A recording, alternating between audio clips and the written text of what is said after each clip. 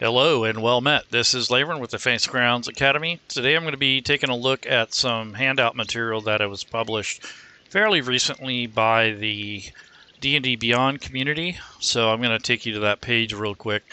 Uh, the content from here does require that you have an account there. But this is uh, something that you could add potentially to your campaign if you want more content and you don't want to write it yourself, that sort of thing. Or you can even change what they've given you. So this is a D&D Beyond account, and this is a downloadable handout. What they've done is they give you a, a graphic with some news on here. It's supposed to kind of emulate a like a local paper for Phandalin. And then it has a couple articles in here, and then it talks about you know like what what's in here and why they did this, and then it, supposedly there's some kind of adventure coming up in the Discord for the D&D um, community but I don't know if I'm going to participate in that. But I did enter some of this stuff into Fantasy Grounds, so I kind of wanted to take a look at that and just kind of go over that a little. So what I've done is just kind of copy and pasted all of the different uh, content in the um, adventure module, or the in this case, this was a handout. So here I got an image. This is like a message that you get that's probably delivered to you, probably on the road or when you're in Phandalin and then you have this the actual paper itself. So this is the actual uh, graphic image that they give you with the article. And then here's the article in fantasy grounds format and any of the speech uh, content or the bubbles. I can click on this bubble and it will send it to the chat.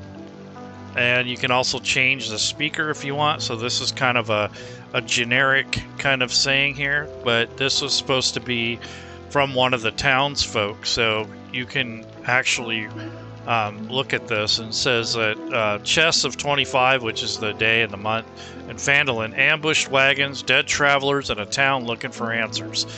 Uh, I was supposed to receive a shipment of the equipment last week, says uh, uh, Linene Graywind, owner of the Lion Shield Coster in Phandalin.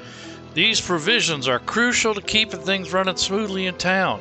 So there's like, you know, like little role playing elements. So th- this thing here, I can actually copy this, the name of this speaker, and I'm going to hit Control Copy. And you got to make sure it's unlocked too. And then what I'll do is hit Control Tab. And what that'll do is put this little dot in here, and then I'm going to paste the name of the speaker. And let's see, it won't let me paste, so I'll just type it in. Linene Graywind. And so what happens is that it will change the chat in the chat window. So now that I'm doing that, I'm going to do the same thing here. So this is uh, townsfolk here. So again, I'm going to hit Control Tab while I'm clicked inside of this uh, chat frame. And you get the chat frame by either right clicking and going to your paragraph types and you can change it there. Or if you know the, the shortcut, you can highlight the text, you hit control 3 and that will convert it into these blocks. So just kind of let you know. You can have multiple paragraphs, but you have to hit shift in between them, not enter. So if you have another paragraph and you're at the end of the sentence, you need to hit enter and shift and that'll get you a second paragraph. Otherwise, it'll create it'll it'll take you out of the chat bubble. So that's like a little formatting thing. And then um, for for to assign a speaker, so this is going to be the townsfolk. I'm going to hit Control Tab, and then I'm going to put townsfolk as the speaker in this case. So anytime you have text dialogue, if you want to be more specific as to who's saying it, you can assign a speaker here by just uh, inserting a speaker by hitting Control Tab. So if not, it's going to look like this in the chat window here. So let me bring up my pointer. So it'll look like this down here if you don't have any formatting or you're, you're not um, designating a speaker. But now that I have a speaker in here, it'll say that this person is saying this. Same thing with this one. Now it's the townsfolk.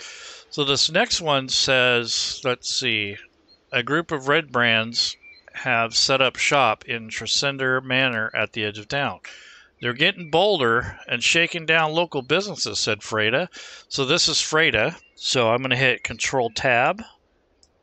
and just kind of type her name up front here. And then, emboldened by a lack of resistance from Townmaster Wester, the Red Brands have quickly tightened their grasp on Phandalin. And it said, They murdered our Thalor, local woodcarver, said Tol- uh, Toblen. So Toblen is going to be the next speaker. So contr- control tab. And that will give you the, the little cursor here so that you can enter it. So control tab. I got to make sure I'm in the right area. Control tab. Okay. And then that's Toblen, the the innkeeper. So there we go. So th that's how you assign a speaker in here. The rest of this is for the GM. But if, apparently, if if you send this to your players, you can just send the graphic, the image, and it's just kind of convenient to have all the text in here. You don't have to do this. But there is another way that, that to present this. So this is a story entry in Fantasy Grounds. But if you wanted to, if you want to take the extra effort, since I've already done most of the formatting already, it wouldn't take much to put this into a story entry in the format of a uh, reference manual. So if I go to modules and click down here on the bottom right where it says builder, you can do it that way. So that'll bring up the reference manual builder and then you just build your chapters. So in this case, we'll just it's called new chapter, but we'll call this the the Phandalin post because it's a paper. And then the new subchapter could be that the about the goblins here.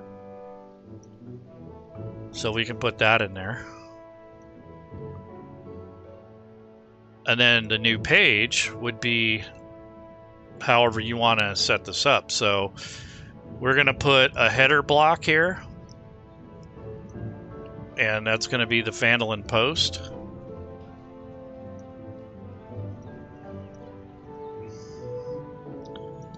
And then we can put a text block in here next if we want. So I can copy all this out. But I think the next thing I'm going to put in here is the image for the the actual um, newspaper. So the next block that we're going to put in here is going to be an image block. So that's blank right now. So what I'll do is go to the images. So these are I've already imported these and I converted them to a WebP file and I also titled them. So the the image that I want to put in there is the handout for the Phandalin post. So you can put that in there and that's basically what it will look like um, you know in your reference manual. And then you can actually change the title of this. So I can just put Phandalin post down here if I want to. So it looks cleaner. So you don't have like the ugly title in there do something like that. And you can use this uh, you can share this image with your players if you want however you want to do it but I'm gonna go ahead and um, add the text that I put in there for me. Uh, this wouldn't necessarily have to be for the players but just to make it a little easier for me uh, when I run the game. So I'm gonna add another type of block. So this is going to be uh, just a standard text block. So text there's there's right left there's dual text block I just need this. Uh, let me see. Do I want it dual text? Yeah, maybe. So let's do it like that. Let's try to set it up like the paper, kind of. Yeah, actually, I won't do that because I don't have these images, so I'll just do it my own way. So here's a text block, and then I'm going to hit Control A, and then Control Copy, and then paste it in here. And that should be the majority of the images and it kept all the formatting that I've already done. So that was pretty simple. Now, if I want to add these images in here like in line, I'd have to create another um, block. So what I'll do is I'll leave those links there or or don't have to, depends on what you want to do. But this thing here, I can add in another image block if I want. But when you, when you have it like this, this looks pretty good. It's not bad. So here's the paper, here's that. There's another handout here, but this is a link down here, so I don't have to worry about that. But this is an image that I could embed in here. So let's do that. So I'll open this back or unlock this again. And then what I'll do is I'll insert, uh, probably insert an image block in here. Let's see. Image block. Yeah, so this goes here. And then I'll go ahead and drag and drop this kind of like a preview of an adventure that's coming up. Actually, I might change that to, let's see, clear image link.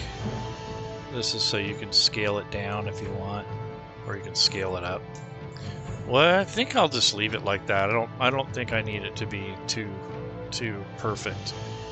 And then there was another one that was like a message that I could put in there, but I don't, I don't need to do that. So this is all the the formatting, it kept all that, and then I just inserted this other link because this goes to this adventure, and then there is a actual link to the article, which will take you to this where I got the information from. So you do need to have a D&D Beyond account. I don't know if it can be a free one or not, but that's where this came from. I got an advertisement, and then um, I don't know if I'd necessarily use that inside of the game but there are other things that I might want to look at. Like this is a thing about the mind crystals. So this is an article that goes kind of hand in hand. It's released uh, in the 19th. It's coming up. So these might this might be a nice little accessory for me to to add into Fantasy Grounds so that I have access to this so I can read up on this stuff because it's talking about the seven different types and then it tells you how to use them in the game and there's some FAQs, and then there's a meta magic uh, thing about a little blurb about that. It says you're able to bend the rules of spellcasting to suit your needs, increase the power of your spells, so on and so forth. So it's kind of like a sorcerer. Yeah, so quick in mind, subtle. Yeah, so these work a lot like the sorcery um, powers do. So there is a careful mind crystal allows up to three creatures within a spell's area to effect to automatically succeed on their saving throws or save. So this is kind of cool. So as a cleric, druid, or wizard, or other spellcasting class, um, you may not uh, be used to being able to tweak your spells, but this kind of gives you uh, kind of gives you like a sorcerer ability uh, if you have these crystals. I don't know if they get consumed or not, but it says that it contains sorcerer's potential. So it allows you to have meta magic for non sorcerers.